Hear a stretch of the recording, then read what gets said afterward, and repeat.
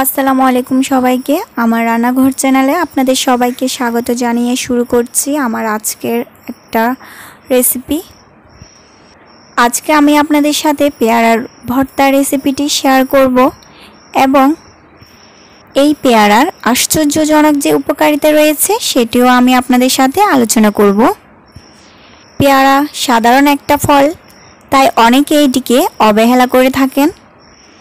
কিন্তু এর মধ্যে থাকা পুষ্টি উপাদান এবং গুণাবলী সম্পর্কে জানলে সাধারণ এই ফলটিকে আর কখনো উপেক্ষা করবেন না।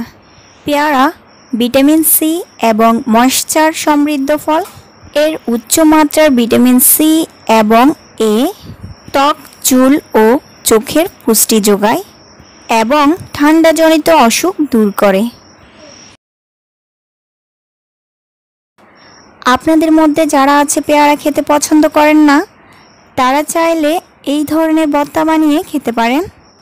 যেহেতু এটা ভিটামিন সি সমৃদ্ধ খাবার, এটা খেলে আমাদের শরীরে রোগ প্রতিরোধ ক্ষমতা অনেকাংশে বৃদ্ধি পাবে। আমার চ্যানেলে যারা নতুন ভিউয়ার্সরা আছেন, তারা প্লিজ আমার চ্যানেলটাকে সাবস্ক্রাইব করে দিবেন। আর যারা আমার চ্যানেলটিকে সাবস্ক্রাইব করে আমার পাশে আছেন এবং আমাকে সাপোর্ট করছেন তাদেরকে অসংখ্য ধন্যবাদ। রেসিপিটি ভালো লাগলে একটা লাইক দিয়ে দিবেন। আর রেসিপিটি কেমন লেগেছে তা আমাকে কমেন্টে জানাবেন।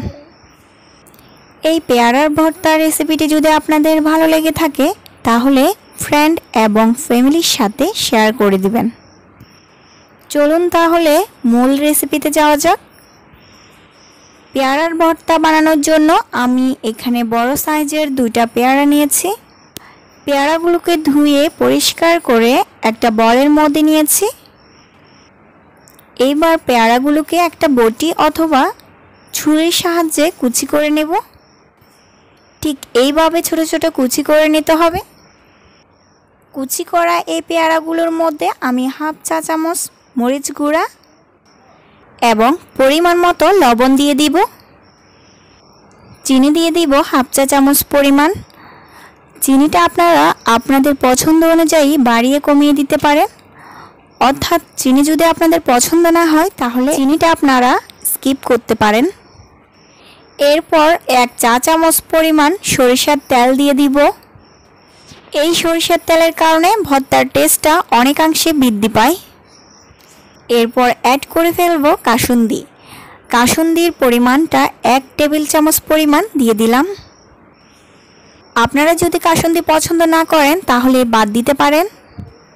কাসুন্দি ছাড়াও কিন্তু এই ভর্তাটা অনেক মজা হয়। তবে কাসুন্দি দেওয়ার কারণে পেয়ারার ভর্তার মজাটা অনেক অনেক গুণ বেশি বৃদ্ধি পায়।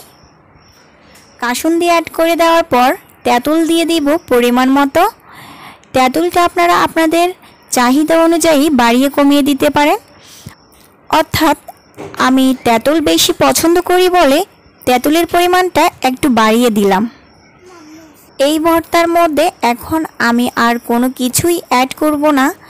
চাইলে কিন্তু আপনারা কাঁচামরিচ কুচি এবং ধনিয়া পাতা কুচি অ্যাড করতে পারেন।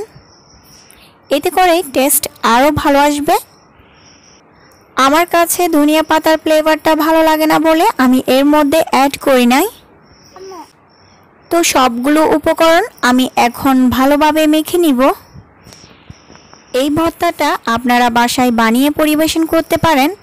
দেখতে পাবেন স্কুলের সামনে যে মামারা পেয়ারার ভর্তা বিক্রি করে, সেই ভর্তাটাকেও হার মানাবে আমার এই পেয়ারার ভর্তাটা। আশা করছি রেসিপিটি আপনাদের অনেক ভালো লেগেছে। যদি আপনাদের রেসিপিটি ভালো লেগে থাকে, এই পেয়ারার ভর্তাটা বানিয়ে বাসার সবাইকে খাওয়াই তাক লাগিয়ে দিতে পারেন। দেখতে পাবেন পেয়ারা ভর্তাটা সবাই অনেক অনেক বেশি পছন্দ করবে। তো আজ আর নয়, আবারও দেখা হবে পরবর্তী একটা ভিডিওতে নতুন কোনো একটা রেসিপি নিয়ে।